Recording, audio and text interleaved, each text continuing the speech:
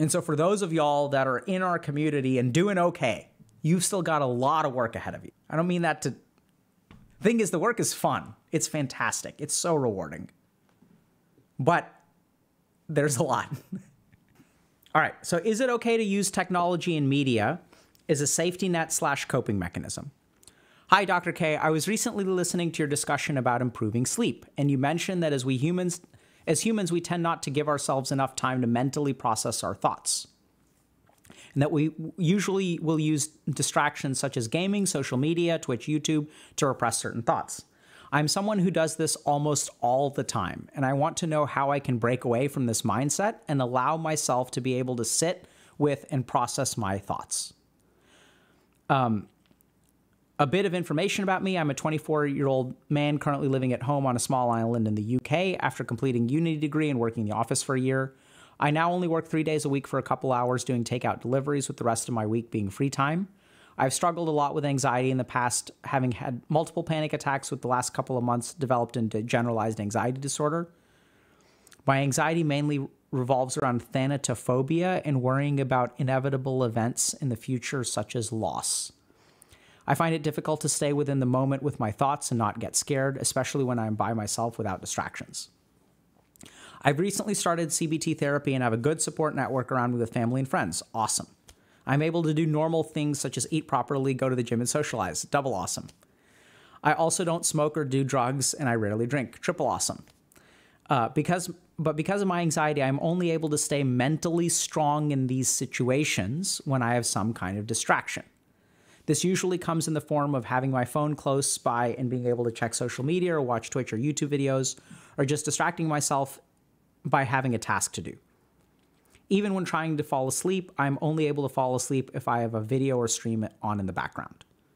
I've tried limiting screen time and making sure I spend a lot of time outdoors, but even when the gym, driving, stores, etc., I feel like the need to listen or watch videos and streams. I'm planning to go to Japan for a year in September on a working holiday, and I hope this will help me as I will be a lot busier and be able to distract myself more naturally. But I'm still worried about that in my downtime, I will feel scared and lonely if I'm not connected with other people in some kind of way.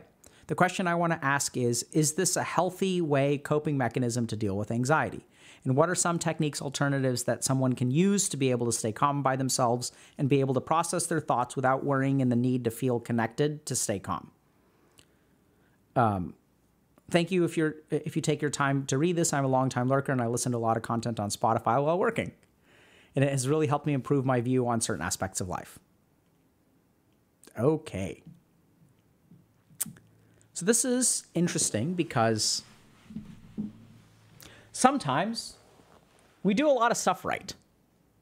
We go to therapy, we're careful about substances, we exercise, we socialize, we've got friends and support groups. But we still kind of feel anxious. We still sort of struggle to get away from technology. And we're not really sure, right? Because, like, if my life ain't falling apart, is it okay to use technology? And how do we know how much of it is okay? Because a lot of times when we talk about things like technology and social media, we're like, we got our pitchforks and we're like, no, bad, stop playing video games, stop doing this, stop, it's so bad and toxic, toxic, toxic. And then we also have this sort of idea of someone who's like addicted, right? It's like living at home, doesn't leave their four walls and stuff like that, right? And sometimes we'll even talk to our community as if all of y'all are like that. But the truth of the matter is that most people within the HG community are kind of like this person. Some stuff they're doing really well, some stuff they're working on. So, how do you know if I'm not like a degenerate technology user, right? Like, how do I know what's a healthy way to manage my anxiety with technology and what's kind of like unhealthy. So there are a couple of different principles that we can sort of look at. The first thing that we've sort of talked about in the past before is that generally speaking, if it causes a problem, it is a problem. So the first threshold to understand, so I'll get parents who will ask me, okay, how do I know if my kid is addicted to video games? And my answer is pretty simple. If you look at all of the diagnostic criteria for disorders, psychiatric diagnoses that relate to addiction, The most common element is impairment of function. So, how do you know if you've got a drinking problem? Well, if it causes a problem, it is a problem. So, if your alcohol is affecting your physical health, if your alcohol is affecting your mental health, if your alcohol is affecting your professional work, if it's affecting your academic work, if it's affecting your relationships, i.e., if someone is threatening divorce because you drink, then it is a problem. So that's when we sort of diagnose something as a disorder. But beyond that, there's a whole range of healthy norms or unhealthy norms, even. And so what we started, we, what we really start to got to do is understand how do I know whether this technology is a problem or not? And more importantly, there are some things I've noticed in my life around technology and like, how do I stop doing those? So, what I'd love to do today is help y'all navigate this question of even if I'm doing pretty okay and my life is not falling apart, is it okay to use technology? And like, how do I start to distance myself from it? And in doing so, what we're going to do is go through a couple of really, really basic um, principles of addiction that even matter when people aren't addicted. So, this is some basic stuff about the brain and how our brain sort of does behavioral reinforcement so that we can understand how to change our behavior if we want to spend a little bit less time with technology. Okay? What we're going to start with is this. Okay. So I'm able to do normal things such as eat properly, go to the gym and socialize. I also don't smoke, etc. But because of my anxiety, I am only able to stay mentally strong in these situations when I have some kind of distraction. So, this is actually the wrong way to think about it, and we'll explain a little bit. So, what we're going to do, by the way, if y'all want to learn about neurobiology of addiction, Nora Volkow is brilliant. The best researcher that I have encountered in terms of the neurobiology of addiction.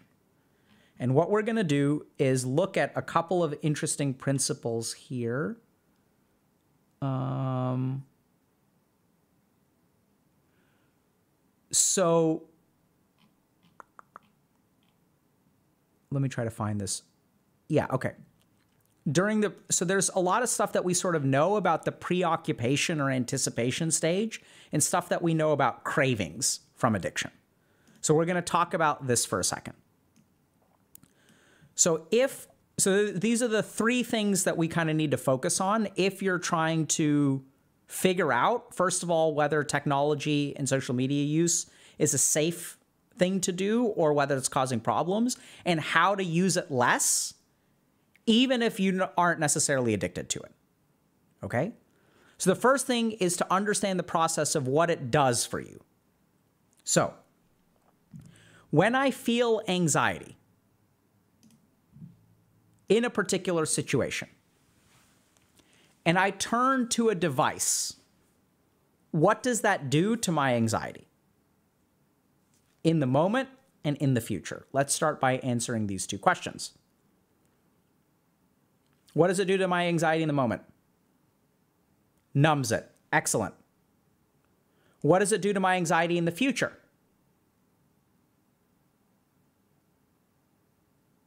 What do y'all think? Gets worse, compounds. At best, it stays about the same. So there's something important to understand here. If you are in a social situation, so now I'm going to ask y'all, very good, good job.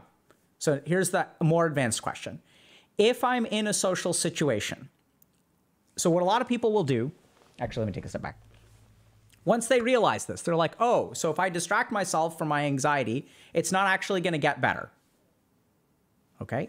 So, therefore, what I need to do is stop distracting myself and muscle through the anxiety.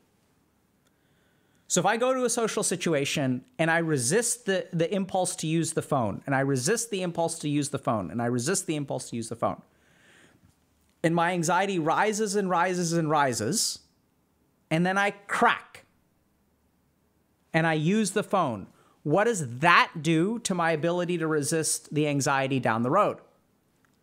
Did I level up some? What do y'all think? So if I resist my phone for the first 15 minutes and then I give in. So some people are saying it weakens it, some people are saying it improves things, some people are saying it's, it's staying the same. So this is where it gets a little complicated, but let me give you all another example. So let's say that my my kid walks in and the kid says, "Daddy, can I please have watch something on can I have some screen time?" And if I say no, and then they start crying, and then I say no, and then they throw a temper tantrum, and I give in, what does that do for their what kind of behavior does that shape for them next time around? What is the child more likely to do? What have I reinforced? I've reinforced the tantrum. So this is what's so devastating for a lot of parents is their kid gets out of control and they give in. And then they come to me and they're like, the more I try to fix this problem, the worse it gets. I've tried everything and nothing works, and they're getting worse and worse and worse. It's because the more that you try to do things, the more that what you're reinforcing for your kid is the only way I'm going to get this is temper tantrum. Because we're trying this other BS stuff for a little while. That's not working. That's not. And what is the one message the kid gets every time you try aromatherapy or listening to this kind of music or we're going to meditate or we're going to do this? All this crap doesn't seem to work. But what is the one thing you're reinforcing throughout all that, which is temper tantrum gets you the game? So, interestingly enough, resisting cravings and then giving in can sometimes teach our brain that if I really want this thing, I just need to hit him with a level 10 craving. Level 1 craving won't do it. Level 2 craving won't do it. Level 3 craving won't do it. I'm just going to slam this person with this craving that's so hard because that's what gets it to me. And we sort of see this in people who struggle to be sober is that the cravings seem to be getting worse and worse and worse over time the more that they fight them. Y'all get this? So even when it comes to staying strong in a social situation, the only way I can manage my anxiety in a social situation, the only way I can stay strong, which is the phrasing that this person used. I'm only able to mentally stay strong in these situations when I have some kind of distraction. This is not staying strong, my friend. This is actually breeding weakness. I, I don't mean that. I mean, I realize that was a mean thing to say, but like, really, what you're doing is you're reinforcing the craving and the usage of the thing. Now, this isn't your fault. It's how our brain is designed. So you're not doing anything wrong in a sense. Like you can't be expected to to know. Right? Uh, I'm sorry, that came off as harsher, but that's the truth. You're not actually mentally staying strong because you're using the thing to keep you strong. It's artificial. Right? So this is like addiction, craving, behavioral reinforcement, super basic stuff. If you give in to the phone, the phone is what you will be giving into more and more and more and more. So the first thing is decide ahead of time. Either give in to your phone right away. Don't even try to resist it. It's okay to sometimes resist it. I mean, sorry, not even resist it at all. Just give in to it completely. Oddly enough, that's the right way to uh, set up healthy technology habits with kids. Dad, can I please have the iPad? Absolutely. Just take it. Dad, can I have the iPad? No. You don't want to say no all the time, but if there's a no, it's a no. And it ain't going to become a yes no matter what happens. And since you can't fight all the time, it's actually healthier to say yes five times and no once, as opposed to struggle to say no every single time and then cave into a yes. Does that make sense? Y'all get that? You can try to spend your energy and lose six battles or you can give up five of those battles and win one.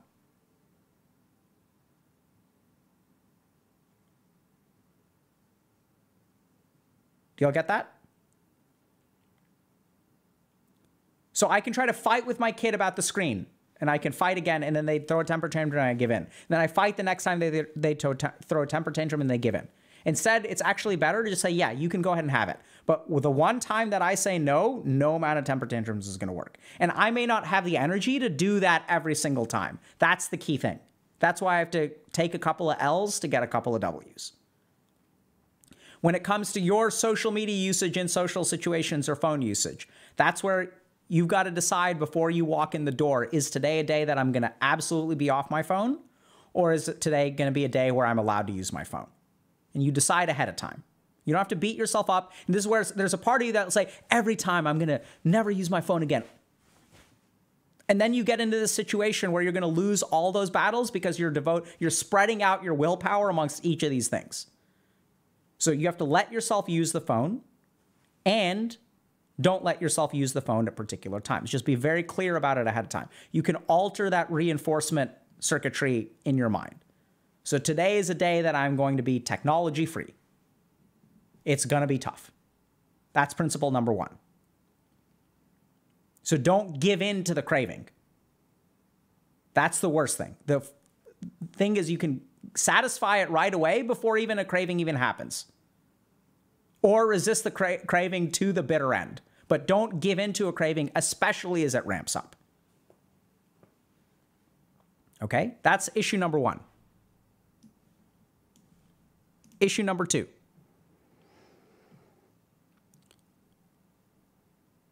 Um, even when I'm at in the gym, stores, driving, etc., I feel the need to listen to podcasts or watch videos and streams. So, second thing that our good friend Volkow discovered is that there are six discrete neuroscientific deficits in people who have addictions. One of those deficits is a lack of awareness of your internal state. So here's how to understand this. If you talk to people who relapse, you ask them, How did you relapse? And they're like, I don't know what happened. I was doing great until I lost it. So, as people have studied the brains of people who struggle with relapse, what we sort of discover, and you can do this like when you do therapy with someone, what you actually discover is you weren't fine for the month beforehand. Actually, there was tiny insult after tiny insult after tiny stress after tiny stress after tiny stress. And this thing happened, and this thing happened, and this thing happened. And then your emotions got to be too much for you. And then you uh, use the only coping mechanism that you could in that moment. But what there actually is, is a blindness to your internal emotional state when you struggle with addictions. And so their experience of it is I was doing fine and then it happened, which is not oftentimes how it is. It's actually, there's a bunch of stuff that's going on. It's just, it's all like be, under the surface. And so I don't see it happening. And so this is really, really important. If you ever want to alter your behavior, you have to understand I still feel the need. Then the question is, what is the need? So you have to tunnel down further into awareness of the self. So if you want to overcome the behavior, you have to know okay, what is this need? What am I feeling in this moment? Why do I need to listen to a podcast? Right? And here's like like why do I have to listen to a stream right now? Like what's going on? What would happen if I didn't do that? How would I feel? What would I think? And that's where you'll discover all kinds of things jumbled together. So, Let's just pick two. One thing you'll discover is that unless your mind is distracted, especially if you have a diagnosed anxiety disorder, that the more you're distracted, the less space the anxiety has to come into your mind. So if you lay a, a, awake at night in bed without any kind of distraction, all kinds of dark thoughts will come up. That's why when I was struggling with addiction, I couldn't go to bed unless I passed out the second I hit the pillow. The most painful part of my day was trying to go to sleep. Because, first of all, I couldn't fall asleep. And secondly, that experience of not being able to fall asleep was such mentally awful. Like it was like torture for hours. The worst part of my day. All of the ways that I was screwing up my life came bubbling up. And I had no no defense, no distraction, no shield. So you may discover that all your anxious thoughts come up, but if you really pay attention, you'll discover all kinds of other things. Like, let's be productive. Like, oh, like if I'm listening to a podcast while I'm falling asleep, then I will learn something. And learning things is good. And I will be making progress in life. And it won't be, you know, I'll be using my time productively because it's important for me to be productive. And if I feel productive, then, then I won't feel so much like a failure. And so let me go on doing this productive, productive, productive stuff, which, by the way, isn't, may not actually move your life forward.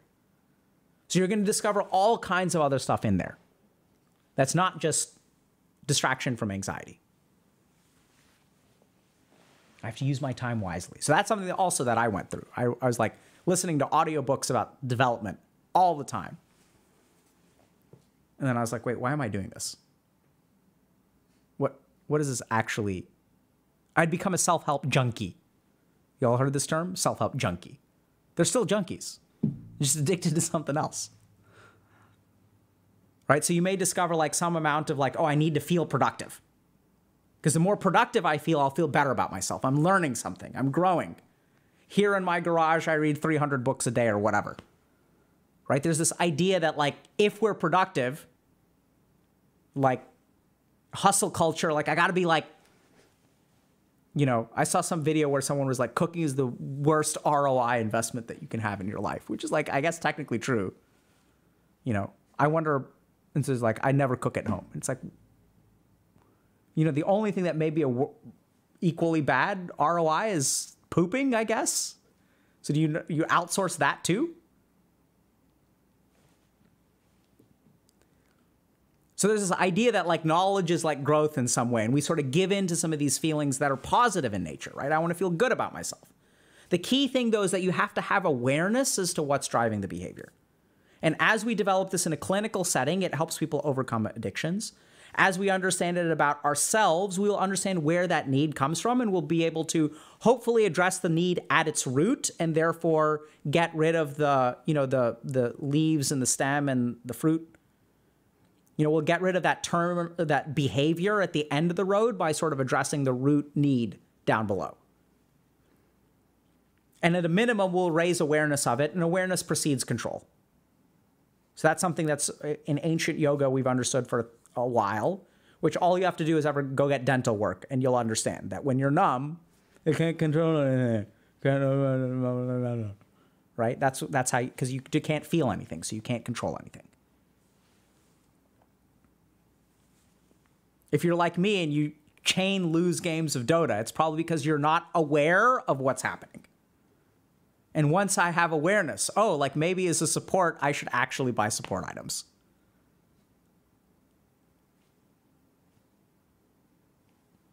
Maybe keeping my carry alive who's got a damage item is better than me having a damage item. So you have to be aware. That's number two. There are actually neuroscientific deficits in people in terms of awareness of internal emotional states when it comes to addictions. Third thing is, but I'm still worried that in my downtime, I will feel scared and lonely.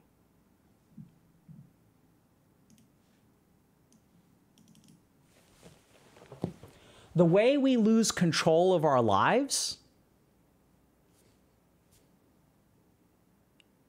is by trying to protect ourselves or avoid negative emotion. The quickest way to lose control of your life is to try to craft a life with no negative emotion. So when I start to live my life in a way to avoid anxiety, avoid fear, and avoid sadness, what does that result in? What does my life become? How do I stop feeling anxious? Don't go to the party. Easy. How do I stop? How do I avoid sadness? How can I never be sad? Well, you can't ever be sad if you, you if getting dumped makes you sad, the only way to never be sad is to never enter a relationship.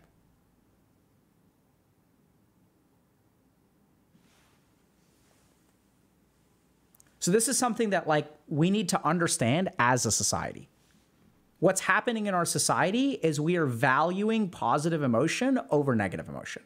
And what we try to do is cultivate positive emotion, positive emotion, positive emotion, and try to get the hell away from negative emotion, negative emotion, negative emotion. First thing that does that is a drug of abuse. We're going to take that frown, we're going to flip it upside down. Let's get us some artificial euphoria. But then what really starts to happen is when we are no longer able to experience, accept, or even embrace negative emotions, it cuts off slices of our life. Things become no longer possible. Because this person is doing actually pretty well. Huge respect for them, by the way.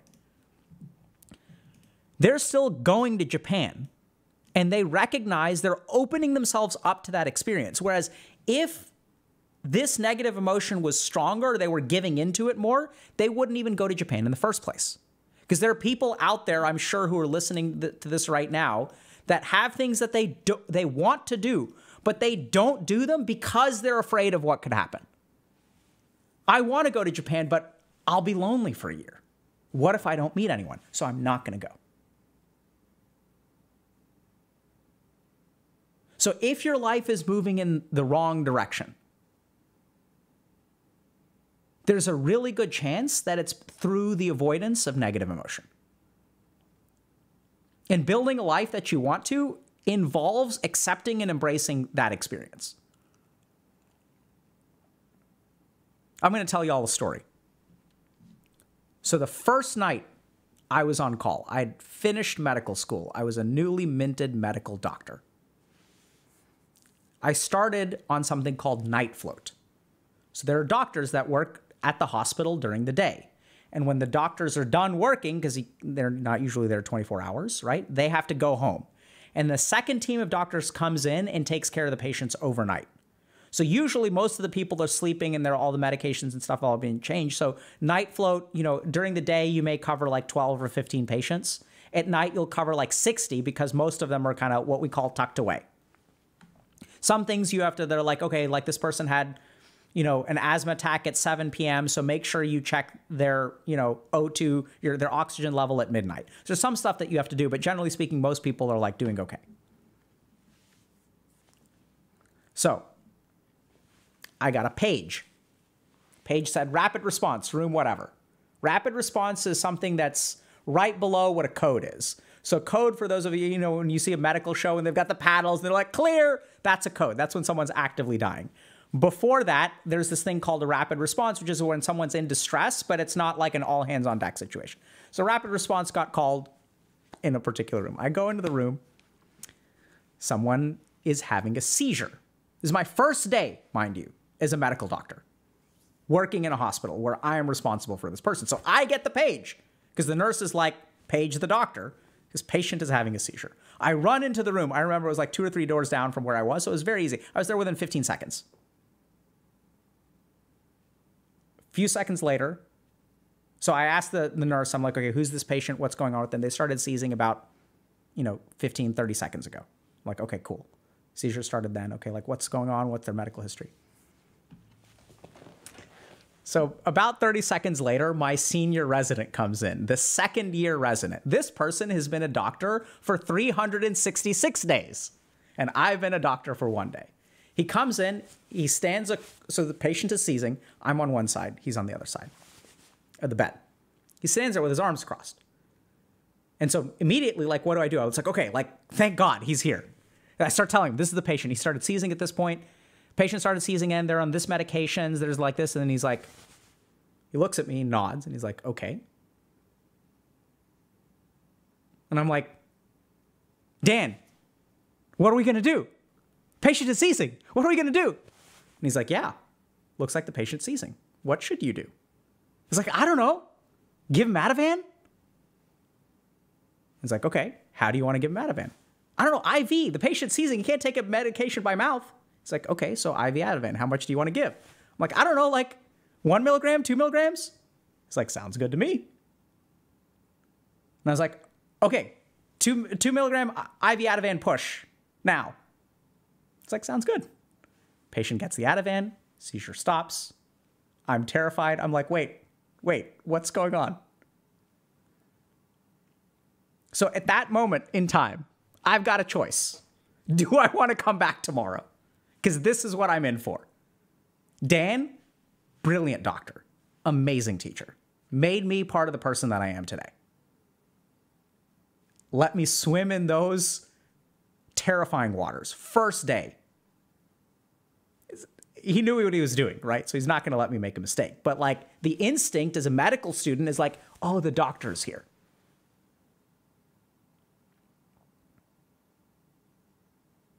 Right? Like, let him, like, oh, thank God the senior is here. Like, ah, oh, off my plate. I don't have to deal with it. Dan's like, uh uh-uh. uh Dan, seriously, brilliant doctor. Fantastic person. And so you've got a choice in life of like what you do the next day. Because I can never be in that situation again. I can do it.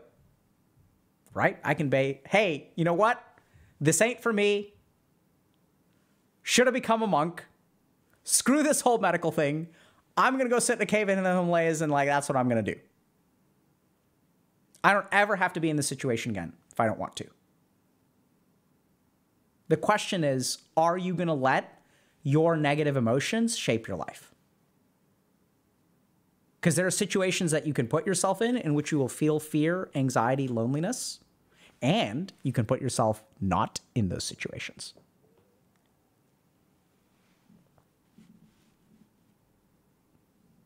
And the moment that we start letting our negative emotions control what we do, and that's where when you're experiencing the negative emotion in the moment, sometimes you can't control it, which is okay. The moment we let the anticipation of the negative emotion restrict what we put ourselves in, that's when you lose control of your life.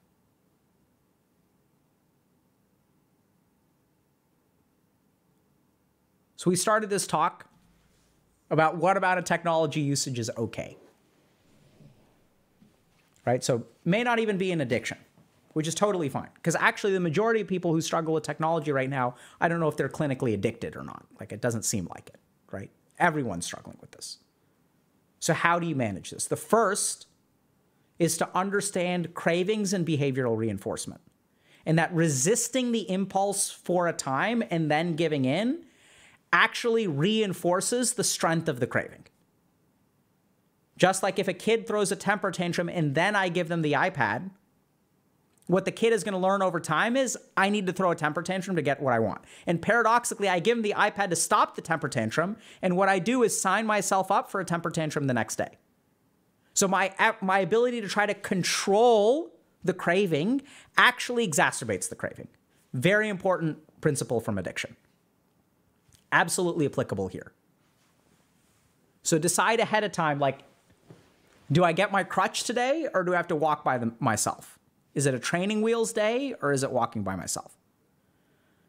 When I go into the ocean, am I going to have floaties or am I going to go into the ocean and need to swim on my own? Right? Because having floaties in the ocean doesn't teach you how to swim, it does the opposite. Now, see, there's a graduated level, right? You don't want to jump straight into the ocean without a floaty if you don't know how to swim. But it's an analogy. So be careful what you're reinforcing in terms of crav- cravings and giving into those feelings. Second thing is awareness. Right? So we know that people who struggle with addictions, and this may be this may be by virtue of the fact that oftentimes social media, technology, and things like that suppress our emotional circuits, which is how they numb us out but then what happens is we have these needs and feelings and stuff like that, and we give into those, but we don't really understand what they are or where they come from. But if we really want to get rid of the behavior, we have to address the underlying stuff. We have to address the root of the problem, which is I just I feel like I need to be on my phone right now. Okay, well, wait, what is that? Is that like hunger or thirst? You need to eat, you need to drink water, you may need to use the restroom, you may need to sleep. There is not a need, there's not a physiologic need to browse Twitter. It's not a need. There may be some kind of emotional drive, right? We could even call it a need. You can use that term. So understand what that is. Like, what are we satisfying here? What are we getting away from? What are we doing? And especially for some of this, like, you know, podcasts, the podcast junkie, it may not be something as simple as, okay, I'm using this technology to suppress my numbness. It may be actually deeper than that. That right now I'm not as successful as I want to be. And every time I listen to a podcast, there's a part of my mind that believes that I'm moving in the right direction. And it's really important for me at this point in my life to feel like I'm moving in the right direction. Still, whether you, you listen to the podcast or not is actually separate from in this point. This point is about wow, it's like that's a really important thing to understand about yourself. Because then the, the the conversation then becomes, okay, if if I really need to be moving forward in life, what can I seriously do? Because the other thing that happens is when we satisfy that need with a podcast, we don't satisfy it in other ways. And then we stay stuck at home listening to podcasts out, all day without actually changing our lives. What am I actually going to do to fix that need? Because podcasts ain't cutting it. So there's all kinds of stuff that you can discover once you look within. The last thing to consider is in general, what is the relationship between you and negative emotion? Is it something to be avoided at all costs? Do you try to avoid it? You want to conquer it? You want to make it go away? Because the truth of the matter, like I hate to break this to y'all, but we have like there's like literally a part of your brain called the amygdala. And the primary function of the amygdala is to experience negative emotion. It's the survival center of our brain, too. The primary function is to survive, help you survive. But the way that it does that, it makes negative emotions in your head. Like our brain has dedicated machinery that makes you feel anxious and scared. Why?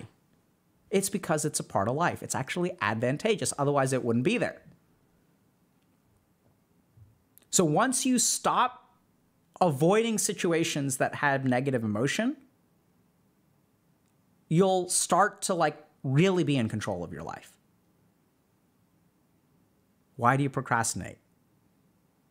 So I was reading something that's kind of tragic about looking at a bit uh, crypto forum of people who haven't told their spouses that they've lost all of their savings in crypto.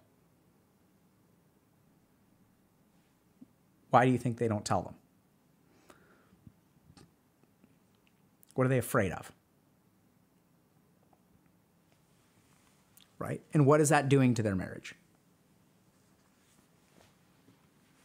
One thing to lose all the money, it's another thing to not tell me. So if you really want to be in control of your life, stop avoiding the negative emotion. Go to Japan. There's a chance you could be lonely. It's not the end of the world. Because negative emotion too is temporary. Beautiful thing. This is a revelation that oftentimes we miss because we're so busy avoiding it that we never get to become familiar with it. Think about negative emotions, it goes away too. Our amygdala is wired to turn off after a while.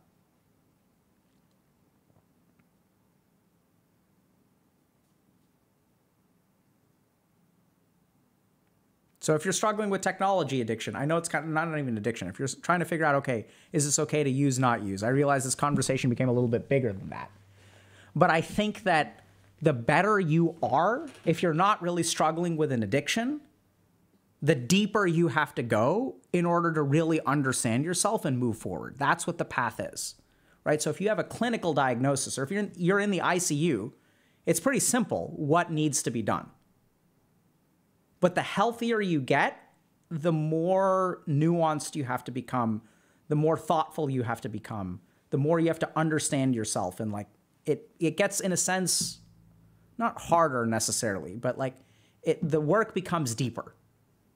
So someone has like a severe depression, it's pretty simple. Like we, we need some kind of medication. Right? And there's other stuff. But that other stuff becomes more and more important the further you go.